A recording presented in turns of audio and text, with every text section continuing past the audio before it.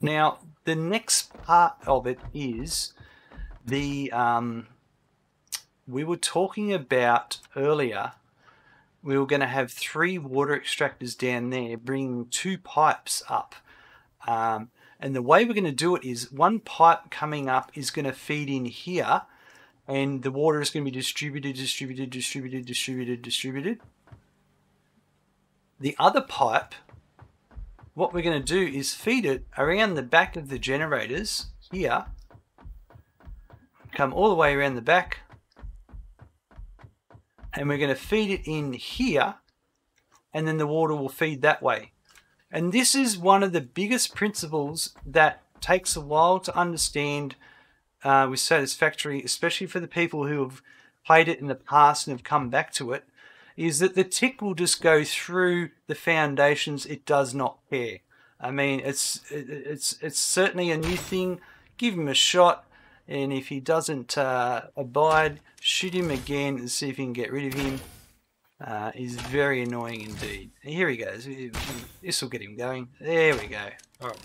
Are you, are you good? Are you gone? All right. There we go. All right. So what I was saying was, coal is coming down here. And it's coming down and split and down and split and down and split. Coal flows uh, in conveyor. It's all in conveyor belts. Conveyor belts flows in a direction. Water is everywhere. So the water comes in. If the water comes in, it goes there and there and there and there and there, but it can also come in the other end and go there, there, there, there, there. So you can send the water in from every angle and um, and have it evenly distributed across your eight generators. And that's how we get by. Uh, when we have a look at our build menu I was talking earlier, a pipe will transport up to 300 meters cube of fluid per minute. A water extractor unclocked will do 120.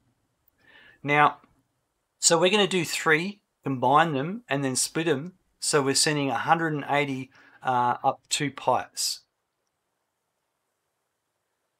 You can overclock water extractors. So you could do two at a at 50% each. But this is power we're talking about.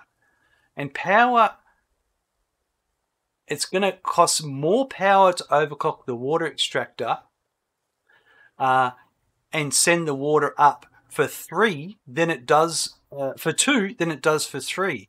Two overclocked consumes more power than three normals. And when you think about that, you're trying to generate power here, but then you're consuming power to generate power. It gets a bit uh, confusing at times. However, um, so what we need to do now is I'm going to run the pipes around the back and get the water ready to go and then we'll bring the coal down. All the conveyor lifts are Mark 1s because the coal plant only requires um, 45 per minute.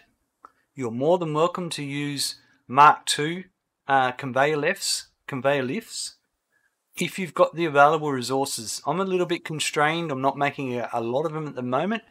Uh, so I tend to balance it that way.